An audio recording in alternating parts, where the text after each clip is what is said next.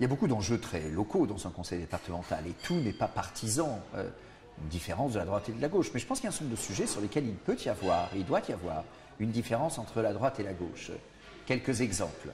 Euh, dans le domaine de la fiscalité, euh, d'évidence, un conseil départemental de droite doit être très attentif à ne pas augmenter les impôts locaux, même quand l'État lui en laisse la possibilité, même au nom de toutes les bonnes raisons que parfois les collectivités sortent pour justifier une augmentation d'impôts. Euh, je vais euh, soutenir des candidats, euh, dans la Drôme bien sûr, mais dans d'autres départements aussi où on m'invite.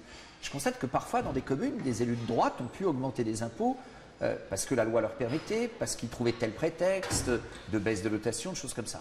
Le Conseil départemental de droite ne doit trouver aucun prétexte pour augmenter la fiscalité locale. C'est un premier élément. La stabilité de l'impôt, sans aller chercher quelque excuse que ce soit, et la stabilité de l'impôt dans la durée du mandat.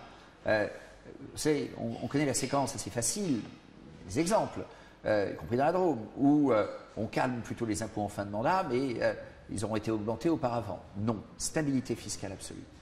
La, deuxième idée, probablement plus, plus, originale, mais qui me paraît particulièrement adaptée aujourd'hui, c'est dans le cadre de la politique éducative. Euh, le conseil départemental va probablement garder demain la compétence des collèges. Et en même temps, euh, le ministère de l'Éducation nationale annonce une réforme des collèges. Cette réforme du collège ne va pas très loin sur le fond, de mon point de vue, pas assez loin. Euh, je pense que le conseil départemental peut mener une action d'accompagnement éducatif, d'accompagnement scolaire, beaucoup plus forte que ce qui est dans le projet. Le projet, je le trouve beaucoup trop timide.